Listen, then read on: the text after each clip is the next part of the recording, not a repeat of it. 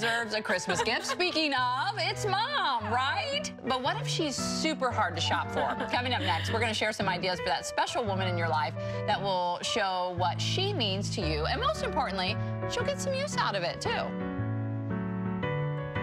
for moms focused on healthy living, mm -hmm. we have the H2O Coach water bottle. Now, this coaches you to drink more water. It has hourly time markers so that you know how much you're drinking during the day. It's like an actual coach, not the um, designer brand coach. You know what I'm no, saying? No, no, this is no, your, yeah. yeah. this is for you.